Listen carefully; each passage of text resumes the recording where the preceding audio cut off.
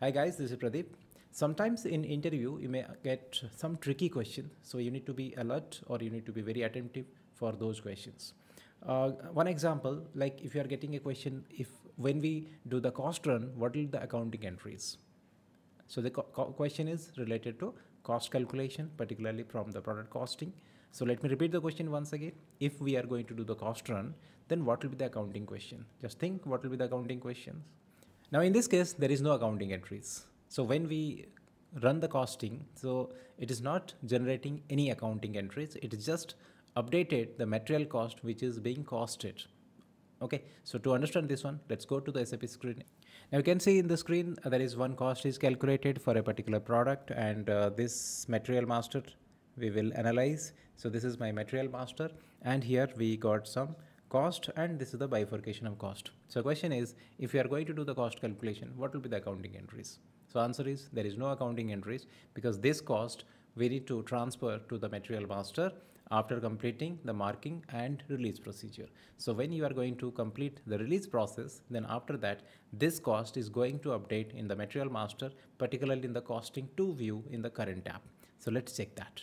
So now I will, I will go to the material master and this material master is 57. So I will go to MM03 and directly I will go to the costing 2 tab, the costing 2 tab and here you can see, okay, the plant is Z009, and what was my cost cal was calculated 38161 and the same price it is transferred to my material master and it is updated current tab. So when we will do the transaction now, if you are going to do let's say outbound delivery or any transactions in there if you are going to use this material master then this price is going to be updated in the transaction because but because of cost calculation there is no accounting entries are there so uh, the answer related to the question I already explained. So there is no accounting entry. Let me further explain on this.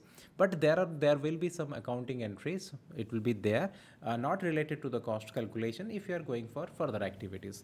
Let's say the counter question is, let's say we have created one production order and with reference to that production order, let's say we have calculated the preliminary cost and what is the accounting entries with that. Again, answer is no accounting entries. So with reference to product cost calculation, there is no particularly when we are talking about preliminary cost the last one i was showing the standard cost. Now i will show you one production order and i will show you the preliminary cost. So we will it is completed but we will focus on the preliminary cost. And with reference to pre preliminary cost there is no accounting entries. Only just you will get the information for the cost calculation point of view or that is related to preliminary cost. So let me go to the one production order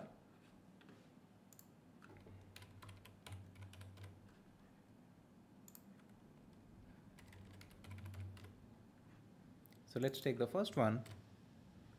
Right, so this is the production order. The last one is 80, 1 4 times 0, 80. And uh, the confirmation date is, just remember this confirmation date, this is 22nd July 2023. And when we will calculate the preliminary cost, so if we'll check the first column, which is calculated with preliminary cost, this one, and here the whatever the outcome is there like here all the activities are completed but let's say just we have completed this one. That means production order or preliminary cost is calculated with reference to production order. So with reference to that preliminary cost there is no accounting entries. So again first we we have seen that when we have calculated the cost that time was also there is no accounting entries. And if with reference to production order means if with reference to the cost object production order with reference to that also there is no accounting entries. If next questions if we are going to continue further that means let's say commercial production started operation started whether th there is any accounting entries or there or not. Yes now we have the accounting entries are there. Now if you are going to confirm that particular production order then in that case you will get the accounting entries and that we will see.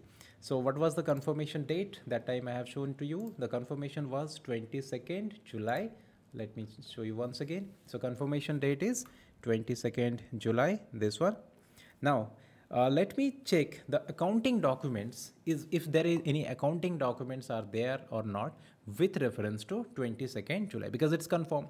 So if accounting entries are there, then we will see what are the accounting entries are there. And particularly we will check the reference as this particular production order with reference to this production order. So when you are going to confirm the production order, you are going to have the accounting entries. So those that uh, document will be your FIMM integration because you are going to consume some material related cost. Some activity need to be confirmed. So that also will be there. So that means you will get one document as your FIMM related integration document. You will get the CO document and as it is S4, you will get some reconciliation document and that is your purely finance document. Those are known as your reconciliation document. In ECC you won't get it.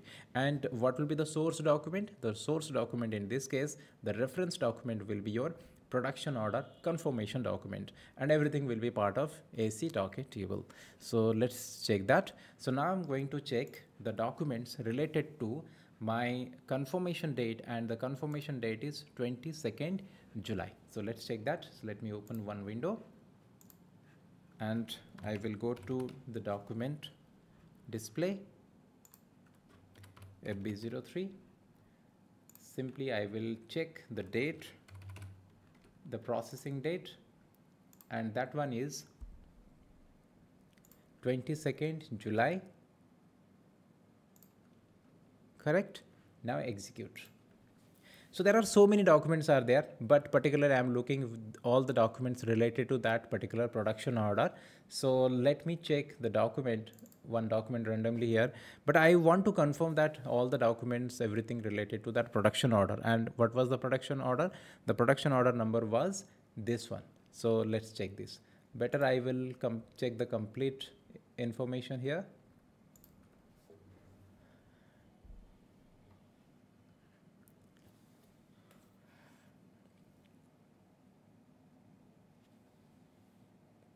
Right? So there are so many documents I can see. First, let me confirm it is related to that particular production order or not. Yes, it is related to that particular production order because I can see the production order. Then I can see the production order confirmation number.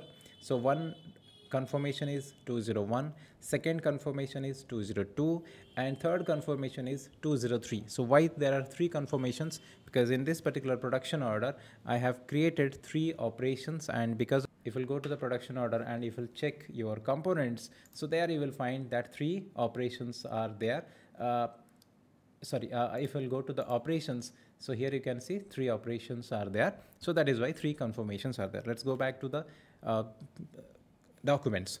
So here if we'll check the accounting document, document number. So what is the answer to this question? If we are going to confirm the production order, yes, accounting document will be there. So what are the documents will be there? So one document you will find when you are going to confirm the production order and obviously we are going to issue the materials against the production order. So this logistic document will be there.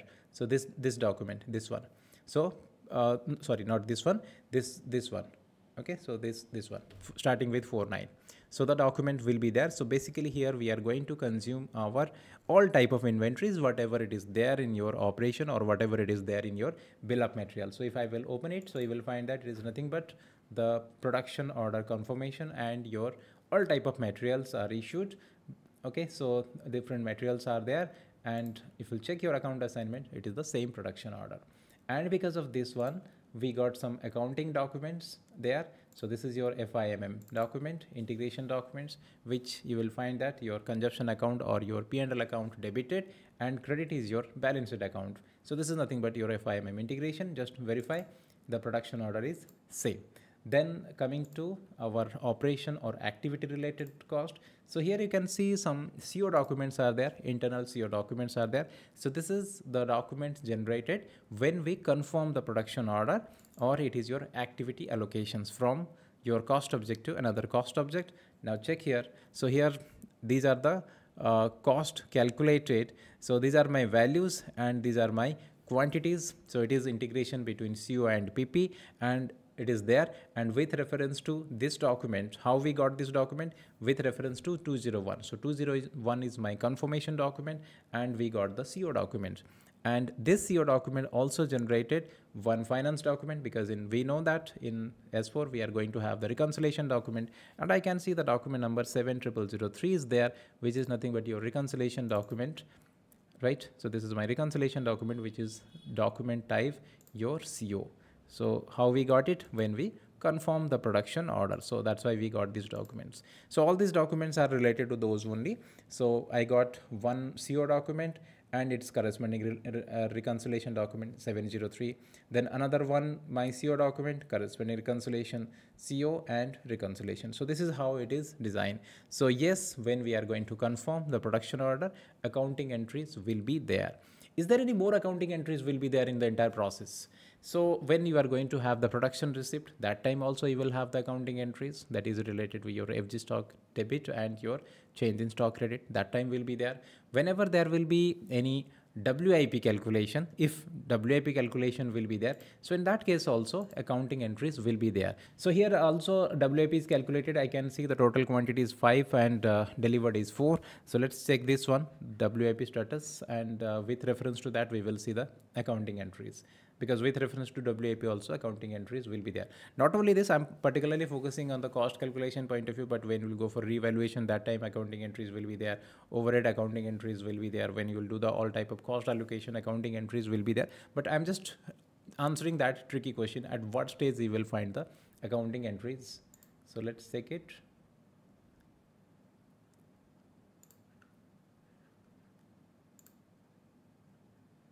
So here I want to see the WIP.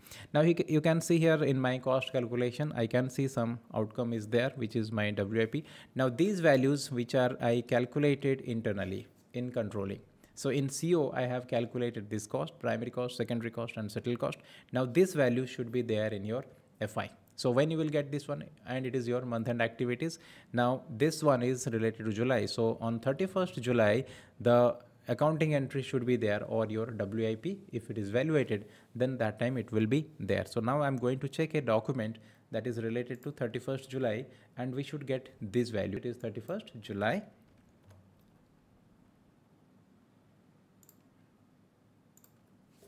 And here all dates are there but I know it's not related to assets so it is maybe related to depreciation so ignore uh, directly let's check this document whether it is the same or not. So yes so it is the same only. So here you can see the WIP what is the WIP value? 26,90961 and uh, here also same balance sheet account. So this one is with reference to same production order. The WIP value is calculated. So here it is calculated in CO and here we got the accounting entries. So be alert when you are getting this type of tricky questions. It is just one question like this. If you are getting any tricky questions, don't, don't jump into the answer immediately. First, listen the question carefully, analyze it. If it is any, then accordingly you can answer it. So if you have this type of any questions, you have uh, get uh, like you have experience, let me know. I will answer that. Thank you.